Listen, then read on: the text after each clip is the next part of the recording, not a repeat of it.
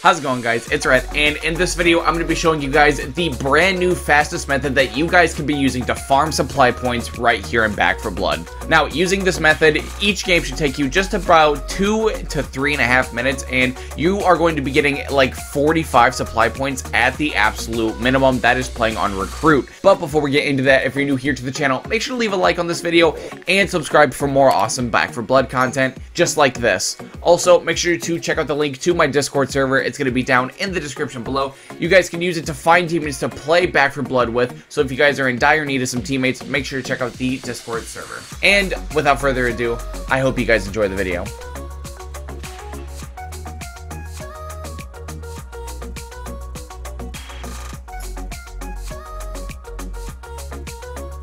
Okay, so when we're actually in the game, all we're going to be doing is just looping one mission over and over and over and over again. So the quickest way to do that is to come over to talk to this guy, and you're going to want to click on the campaign, and then you're going to want to create a run.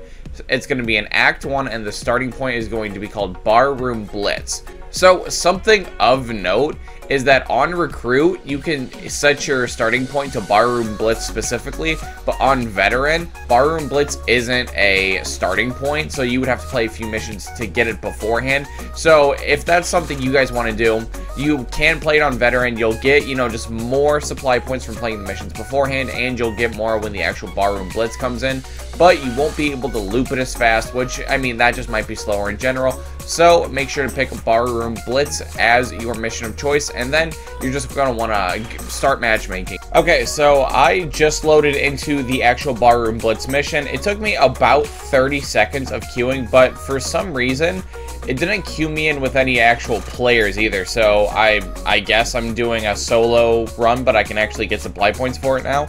So, I don't know, this might happen to you guys too, but it just never happened to me before. Okay, so we are just looking to complete this mission as quick as possible, so we are actually going to try to go out of our way to get over to the bar as quick as humanly possible. So we're not really going to go out of the way and try to interact with anything else, you know, we're not going to try to like kill extra ridden or anything like that, we are just trying to loop this mission over and over and over.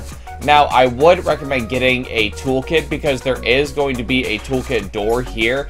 And when you're playing on like the harder difficulties and stuff like that, there's going to be like a heal station and everything in here. So you guys are going to have not much trouble at all beating this if you get, you know, like the toolkit and everything like that. So, like I said, this this place is just super decked out too. It really, really shouldn't be hard at all to survive, but all we gotta do is we just gotta start the jukebox, it's gonna call a horde, and I would recommend camping just behind this bar right here, because let me tell you, man, nothing's gonna catch you at all. So, and I mean, we don't have to do anything else. We literally just have to sit here and live. That's that's it. But yeah, I mean, honestly, even on like like veteran and stuff like that, this is not hard at all because you know we have the healing station right there, and you know we have like the supply boxes always right there. We got like infinite Molotovs. We you know have a lot of weapons, a lot of offense accessories.